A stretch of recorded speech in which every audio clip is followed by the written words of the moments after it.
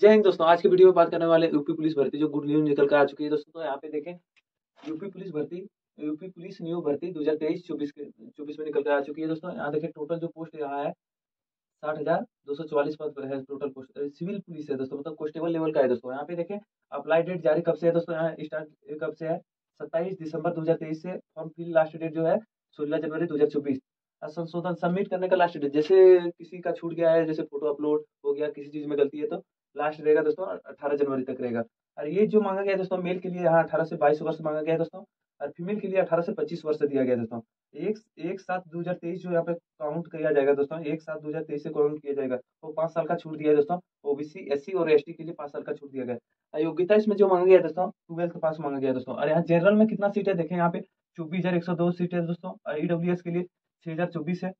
और ओबीसी के लिए सोलह हज़ार दो सौ चौंसठ है एससी के लिए बारह हज़ार छः सौ पचास पद है एसटी के लिए बारह सौ चार वैकेंसी और फॉर्म फिल करने के लिए, जैसे फॉर्म फिल करने के लिए चार सौ रुपये लेगा दोस्तों, जनरल के लिए। और यहाँ पे देखें दोस्तों, यहाँ पे जो फॉर्म फिल, ये तो बता दिए दोस्तों, एग्ज़ाम जो होगा सर, दोस्तों, ऑफलाइन होगा और वो मार्कशीट पर होगा दोस्तों।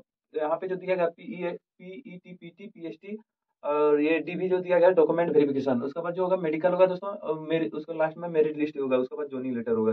यहाँ पर देखें दोस्तों टोटल टोटल जो क्वेश्चन रहेगा दोस्तों डेढ़ सौ नंबर का रहेगा दोस्तों, और एक क्वेश्चन दो नंबर का रहेगा टोटल जो रहेगा तीन सौ नंबर का रहेगा, और टाइमिंग दो घंटा दिया जाएगा दोस्तों नेगेटिव मार्किंग रहेगा, एक बटा फोर रहेगा दोस्तों पे एक नंबर कटेगा दोस्तों यहाँ पे, और फ़िज़िकल जो दिया गया पुरुष महिला के लिए, पुरुष के लिए जो है चार पॉइंट आठ किलोमीटर रनिंग है, पच्चीस मिनट दिया गया है, महिला के लिए टू पॉइंट आठ किलोमीटर टाइमिंग चौदह मिनट दिया गया दोस्तों, और यहाँ पुरुष के लिए देखें, जो हाइट मांगा गया पुरुष के लिए एक सौ अड़सठ centimetre S C S T के लिए एक सौ साठ सेंटीमीटर, महिला के लिए एक सौ बावन centimetre S C S T के लिए एक सौ सैंतालीस सेंटीमीटर यहाँ पे दिए गए। और कास्ट यहाँ जो मांगा गया कास्ट सर्टिफिकेट देखें दोस्तों, यहाँ एक अप्रैल 2023 के बाद बना होना चाहिए या सोलह जनवरी 2024 के पहले होना चाहिए कास्ट सर्टिफिकेट। कास्ट सर्टिफिकेट किसके लिए यहाँ मांगा गया दोस्तों? यहाँ जनरल और ईडब्ल्यू e के लिए और ओबीसी के लिए मांगा गया दोस्तों। यहाँ पे देखें तो आप लोग गलती ना करें दोस्तों फॉर्म जो है फिल अच्छा से करें दोस्तों। मिलते हैं नेक्स्ट वीडियो में। जय हिंद दोस्तों।